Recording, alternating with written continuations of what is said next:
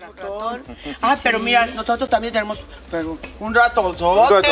Mira nada más, aquí está bien escondido. Asómate, Paco. Hertz. Ven, Paco.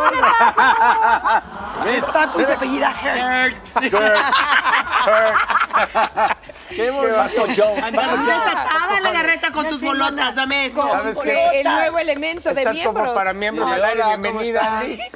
Oye, ¿y no se lo quieren llevar a la casa? Ay, sí, me encantaría. Pero es que sí se, sí se puede. friendly. Pero es que todos querrían meter el suyo y se. No, solamente el de Pues todos van Sería, a meter el sería un suyo. zoológico. Nosotros bueno, conocemos por a la no. conductora y ahí solamente el de ¿Tú tienes perrito? Mira. Sí.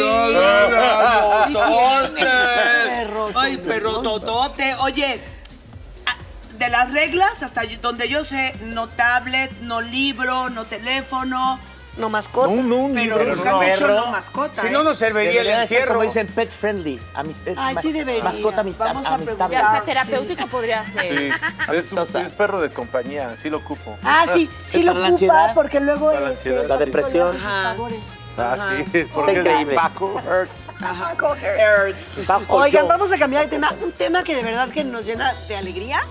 Porque Yolanda Andrade ya regresó a trabajar, cosa que nos da muchísimo gusto. Habló de su estado de salud y agradeció también las muestras enormes del cariño del público, de amigos y de toda la gente que pues estábamos preocupados porque estuviera bien. Qué bueno, Joe. Yolanda Andrade volvió a los foros de televisión.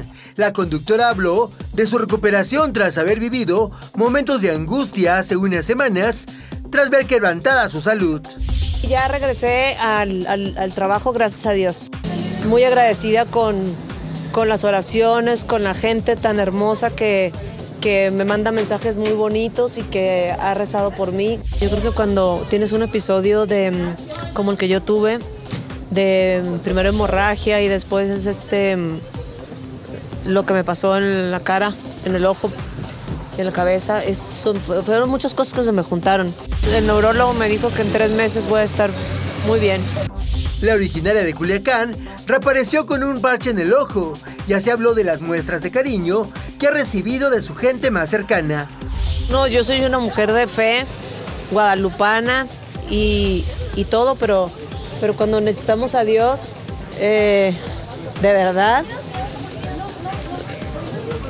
pues no hay palabras para agradecer tanta cosa. Mis amigas que me mandaron este manto, eh, que es de la Virgen de Guadalupe, que lo traigo, es una amiga mía que, que se llama Laura, Chantal, La Rox, y en fin, o sea, son, son, son muchos detalles y muchos amigos y me sentí muy querida.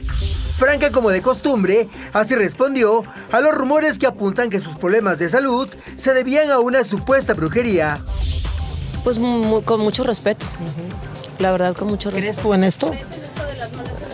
Pues fíjate que muy chistoso porque yo llegué con dos pulseritas rojas y se me cayó una ahorita. Entonces, no sé, no sé qué. ¿A qué se deba? Para hoy, Vladimir Pozos.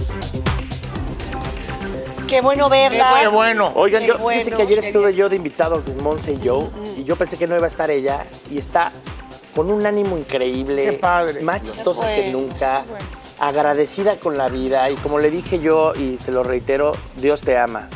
Dios te ama porque es una mujer que eh, ha luchado con muchas cosas y sin duda esto que le pasó, Dios estuvo con ella todo el tiempo. Entonces ella es una mujer de fe y la vi muy chistosa. Además aventaba unos chistes como Es muy siempre de humor negro, divertida. divertida y me dio muchísimo gusto y creo que también el trabajo te alivia. Cierto. Muchas Te distrae. cosas. Te distrae de muchas cosas. Exactamente. Qué bien, Entonces me dio qué mucho bien gusto, verla de mucho, mucho regreso. gusto verla de regreso. ¿Cómo no? Te quiero mucho, Yolanda. Qué Te bueno queremos mucho. Bueno. Daniela Parra encabezó ayer una marcha por calles de la capital mexicana para pedir un proceso legal transparente hacia su padre Héctor N. La joven agradeció la respuesta del público. Impresionante, impresionante, impresionante. Me saca de onda. Jamás. Yo dije, llego yo sola y a ver qué hago. Pero no. Yo estoy haciendo todo lo que me compete, mis abogadas también. Y pues esperando la mejor resolución del juez y si no, todavía hay muchas instancias que agotar hasta donde llegue. Esto dijo de Sergio Mayer y Felipe Nájera, este último productor del documental Los dos juicios de Alexa. Tú lo sabes, todos lo saben, yo, ellos no tienen permiso, no tienen autorización de utilizar nuestros nombres, entonces lo que ellos hagan será su responsabilidad. A horas de que el juez dicte sentencia definitiva, aclara la situación legal del actor. Fue absuelto de abuso sexual y fue culpable de corrupción de menores, pero de eso a que ya tengan una sentencia y que ya sepan cuántos años va a estar ahí, eso es una total mentira. Y expresa un mensaje para Alexa y Ginny Hoffman.